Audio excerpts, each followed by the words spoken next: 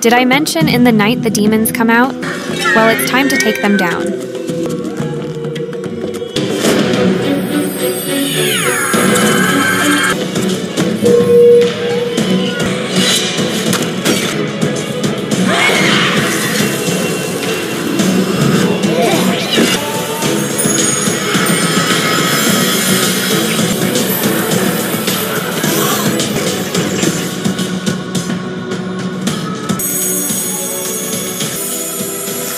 The energy collected from the demons is used to feed the guardians.